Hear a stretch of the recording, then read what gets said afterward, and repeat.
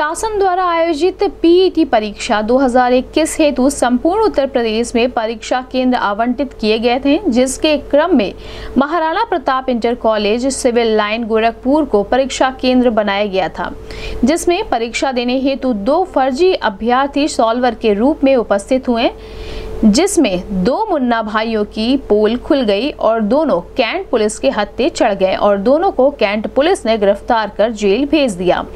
जिनकी पहचान प्रशांत कुमार, पुत्र नंद किशोर सिंह, निवासी सिरजुआ पोस्ट, बाऊ बगीचा थाना महेशकुट, जनपद खगरिया बिहार, अभिषेक कुमार, पुत्र कमलेश कुमार, निवासी रतनपुरा पोस्ट लहिल पार थाना बरियापुर जनपद देवरिया के रूप में हुई है, जिनके पास दो आधार कार्ड, एक प्रवेश पत्र व एक वीवो मोबाइल बरामद किया गया।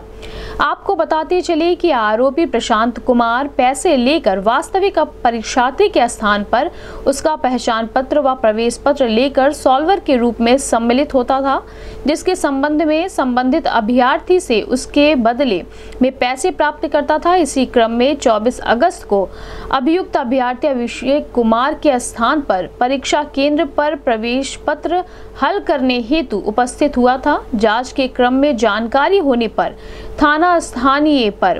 मुकदमा अपराध संख्या पाँच सौ अंठावन दो धारा चार सौ उन्नीस, चार सौ बीस, चार सौ पैंसठ, चार सौ अड़सठ, चार सौ इकहत्तर, एक सौ बीस बी।